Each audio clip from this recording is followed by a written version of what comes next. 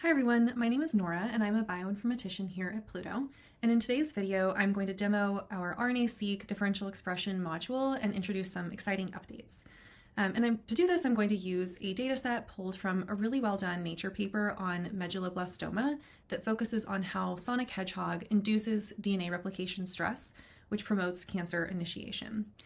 So the cell type that the authors were working with in this paper are granule cell progenitors. And the reason they focused on this cell type specifically is that it composes the largest neuronal population in the human brain, and GCPs proliferate in response to sonic hedgehog. So GCPs are the cell of origin in sonic hedgehog medulloblastoma, and that is the most common subtype of medulloblastoma among pediatric cancer patients. And this SHH medulloblastoma is most commonly caused by sonic hedgehog pathway mutations. So the authors wanted to answer this question of how does sonic hedgehog ultimately lead to increased DNA damage? And to do that, they kind of worked backwards. So one of the characteristics of um, SHH related medulloblastoma is higher DNA replication rates. So the authors hypothesized that sonic hedgehog induced higher expression of nucleotide metabolism genes, which led to an increased availability of DNTPs, which we know to be the fundamental building blocks of DNA. And that increased availability of DNTPs led to a higher fork speed, which is essentially just higher DNA replication.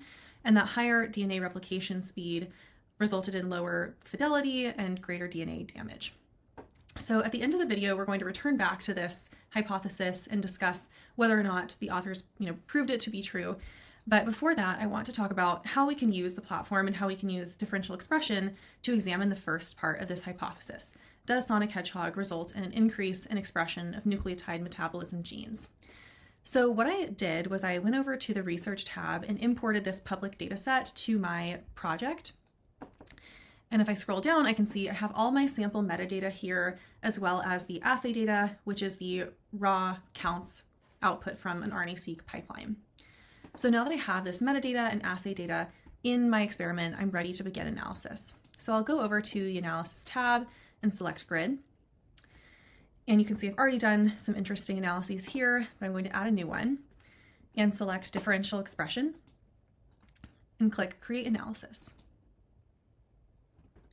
So now I can select the variable that I want to use for comparison in my differential expression. So here we're interested in condition and our control group we'll select first. And then the experimental group in this case are uh, granule cell progenitors or GCP cells exposed to 10 nanomolar of sonic hedgehog.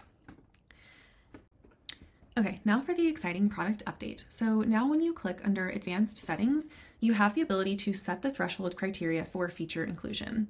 So in differential expression, you're obviously expecting that genes will be expressed differently across your conditions. So what Pluto does by default is it has this OR setting toggled, and that means that it looks at the genes in the experimental and the control group differently. So it starts with the experimental group genes, and it eliminates any genes that aren't observed in at least three reads in at least 20% of samples. So just to be very clear about that, that means that 20% of samples must contain that gene three times for it to be kept. Then it looks at the control group genes separately and it performs the same filtration. So 20% of control group genes or 20% of control group samples must contain a gene three times for it to be kept. The other thing you can do is toggle to this AND condition, in which case it looks at the experimental and control group genes simultaneously, and a gene has to be observed at least three times in at least 20% of both experimental and control group samples to be kept. If you have any questions about how to configure these settings for your specific experiment, click this question mark and really helpful documentation will appear that walks you through a few different conditions. So I'll just go through one briefly. So let's say in your experimental group, you are anticipating that your treatment activates certain genes that would normally not be expressed at all in controls. So for this situation, you may want to require a minimum of three reads in at least 10% of samples in the control group to accommodate baseline, low, or no expression without eliminating the gene entirely. And then in your experimental group, you may want to require a minimum of 10 reads at at least 90% of the samples to ensure that you are capturing those genes that are consistently induced by the treatment.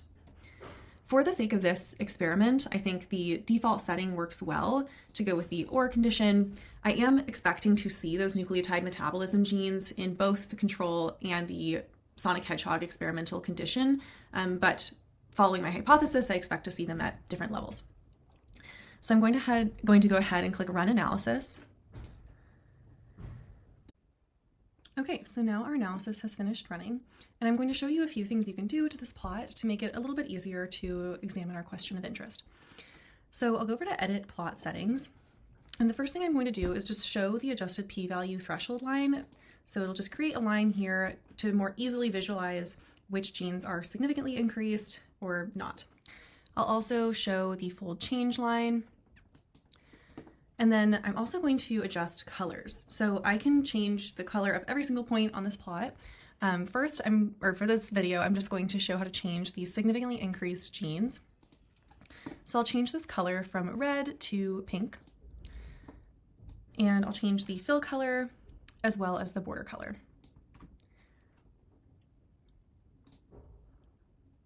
Okay. So now I've changed that color and it'll propagate when I save changes. And then the last thing, and probably the most important thing I'm going to do, is visualize my biomarkers. So before I ran this analysis, I created a list of biomarkers and that contained all of the nucleotide metabolism genes that the authors were interested in exploring. So I will select that list that I created. And then when I save changes, all of those genes are going to be displayed in a different color and they'll be labeled appropriately. So it just makes it really easy to see these pink genes are all the genes that were significantly increased in the sonic hedgehog condition. And all of the labeled genes are those that belong to the nucleotide metabolism list that the authors created. So I'll close out of this. And I also created just a few other plots that help me kind of answer the same question. So for example, I did a gene set enrichment analysis on the Wiki Pathways pyrimidine metabolism gene set. And then I also did a simple summary plot looking at the exact CPM normalized counts of the nucleotide metabolism genes in the sonic hedgehog condition relative to the control condition, as well as the IGF-1 condition. IGF-1 is another growth factor that induces proliferation of GCPs.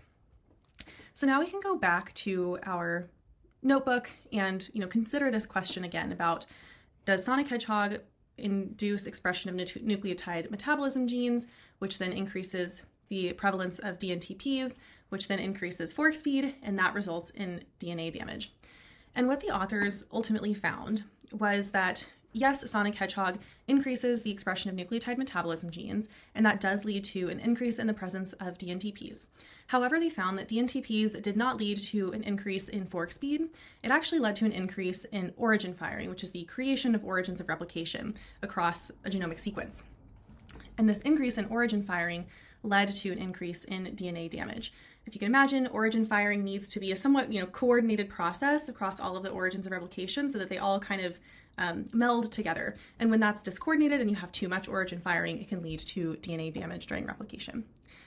Thank you so much for watching this video, and I will see you again in the next one.